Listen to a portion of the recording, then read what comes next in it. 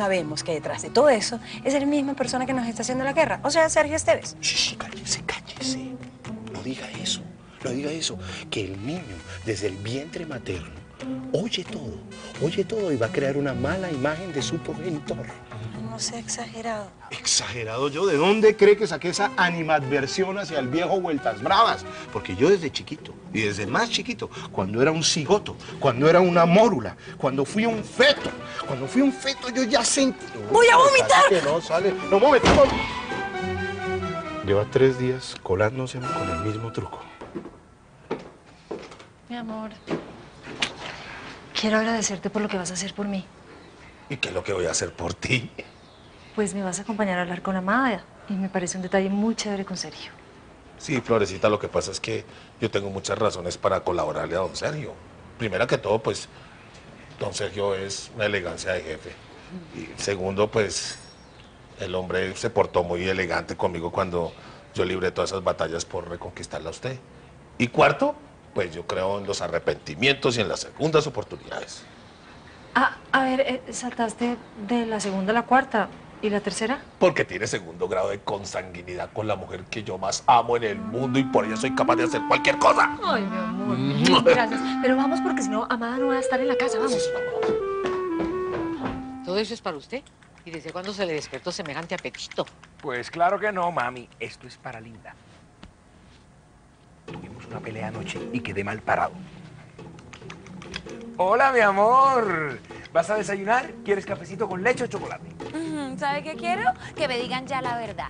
A ver, señora, ¿usted sabía que este aquí parado me estaba traicionando con Amado Otero? ¡Ay! No sabía nada. Ay, nene, ¿usted hizo eso? Eh, bueno, yo, yo, yo, yo. Es cierto, pero no es exactamente como Linda lo cuenta. Ay, sí, cómo no. Y usted dejó la pantomima así, porque yo estoy segura, señora, que usted estaba como siempre alcahueteándole la marranada aquí al niño. Le juro por lo más sagrado que no tenía la menor idea. ¿Qué le contesta a mi hijito? ¿Que quiere té, chocolate, café con leche? O huevito. Mm. Mire, Leonardo, de una vez le digo, yo no le voy a perdonar que usted me haya traicionado con Amada Otero y se haya hecho socio de ella. Así que está en matrícula condicional, ¿cómo le parece? Ah, y eso va para usted también. No, no, no, pero, pero no hablemos más de esa señora que está al borde de la quiebra, Linda. Ay, ¿a mí qué me importa? Mire, a mí ella me cae gorda. Gorda, flaca, alta, pobre, rica, como sea. Y sabe que me molesta mucho cuando me la empiezan a mencionar para alabarla o para compadecerla. En eso tiene toda la razón. Usted, ¿cómo es tan inconsciente? Y al fin se va a comer sus huevitos calientitos. No. Ya se me quitó el apetito, me voy a ir a terminar de arreglar. Ay, ¿cómo será de tarado? ¿Cómo se deja pillar? De nada. Ay, ahora vamos a tener que pegarnos de todos los santos, porque como Linda nos llegue a echar, nos vamos a tener que ir a vivir debajo de un puente.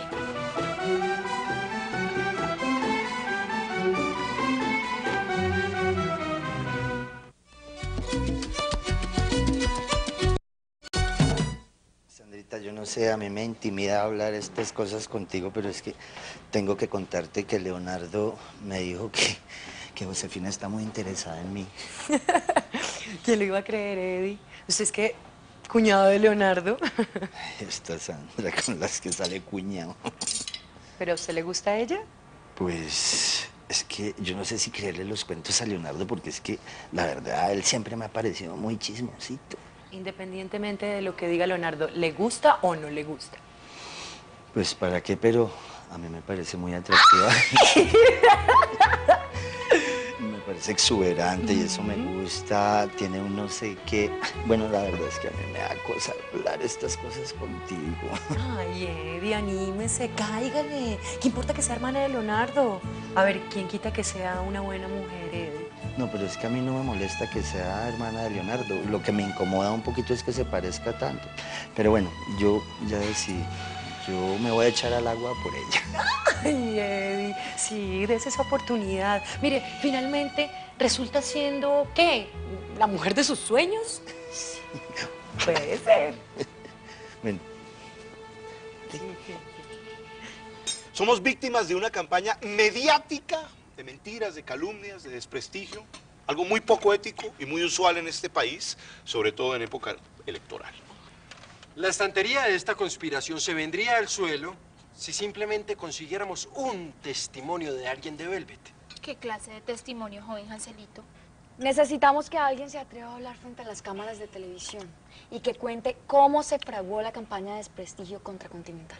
Hijos míos, siéntanse orgullosos, pues heredaron todas mis neuronas. Más fácil encontrar un país varado que alguien abra la boca en Velvet. Oigan, ¿y no será que Leonardo... Yo también pensé en él, pero es que él nunca da la cara, eso sí. Hansel debería hablar con la muchacha esta Lucy. ¿Yo? Sí, ella todavía está enamorada de usted. Y una mujer enamorada es la cuota inicial de una boba. Yo sería incapaz de aprovecharme de los sentimientos de alguien para obtener algo. Es que no se tiene que aprovechar de ella. Puede aprovechar y se vuelve a noviar con Lucy. Yo después de mucho tiempo me di cuenta que es una buena muchacha, además lo quiere lo más de harto. ¿Cómo? ¿Y usted desde cuándo se volvió la jefe de prensa de Lucy? Voy a abrir. Oiga, pero ¿qué le pasa? ¿Qué pasa después de cuántas Buenas, Melanie, ¿cómo está? Buenas. ¿Cómo le va, señora Margarita? Buenas. Huele como a desayunito, ¿no? Como a caldito de costilla. Hay caldo parado. Me enteré que estabas embarazada, te felicito. Gracias. Estás un poco pálida, ¿te sientes bien? Lo normal dentro de un embarazo. Náuseas, mareos, un poco de estrés en la empresa, pero el resto normal. Sergio no está mejor que tú. Margarita, no quiero que me hable de él. Bueno, está bien, no hablemos de él. Pero escúchame, sí. Mira, según Sergio, él ya descubrió quién fue la persona que se robó esas fórmulas para venderlas a Nacional de Cosméticos. Mira, fue Linda Arbeláez. Ay, no me diga. ¿En serio? ¿No me crees? Mira, él también descubrió que ella fue la persona que orquestó toda esa campaña para, para desprestigiar tu empresa en televisión, mi amor. Bueno, si su primo se lo dijo, me imagino que debe ser una estrategia de él para evadir toda la responsabilidad en ambos casos, ¿no? ¿Tú de verdad crees que él es capaz de hacer eso? Después de todo lo que me hizo su primo, cualquier cosa es posible. Pero es que la misma Carolina admitió toda su falta. Igual Linda. Mire, Margarita, así fuera verdad. Esa información llega muy tarde. Nunca es tarde para hacer justicia. Y el distanciamiento entre ustedes dos se debe a ese malentendido precisamente. Ese es el primer eslabón de toda una cadena de desencuentros. Y si de verdad fuera un malentendido, ¿usted qué crea? ¿Que yo me voy a olvidar de todo lo que me hizo él? Pero tú también dudaste de él y lo acusaste de haberse robado las fórmulas. Y todavía no estoy convencida de su inocencia. Además, la tal Carolina no me inspira ninguna confianza. Amada, Sergio está muy arrepentido. Qué bueno por él. Pero lo que soy yo, no quiero volverlo a ver nunca más en mi vida. Mire, yo le agradezco que usted haya venido hasta aquí a decirme todo esto, pero después de todo lo que pasó entre él y yo, aquí no hay nada que arreglar.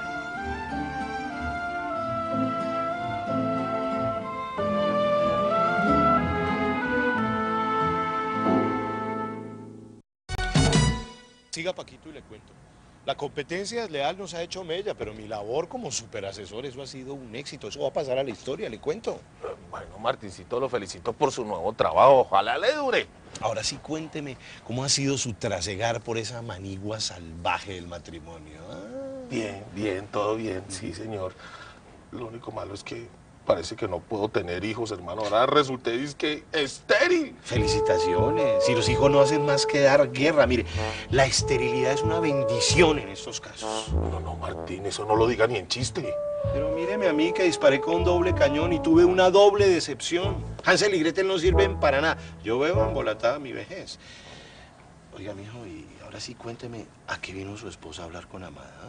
La florecita está haciéndole ahí un mandado al primo porque ese man está en una situación calamitosa desde que perdió a su hermanita.